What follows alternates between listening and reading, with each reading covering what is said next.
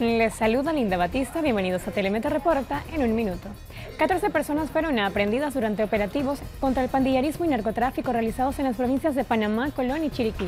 Entre los aprendidos hay tres tenientes de la policía asignados a la provincia de Colón, quienes supuestamente formaban parte de una organización criminal. Y la basura y los desechos en el complejo hospitalario han sido recogidos luego de que fuera instalada una mesa de situación entre colaboradores y directivos.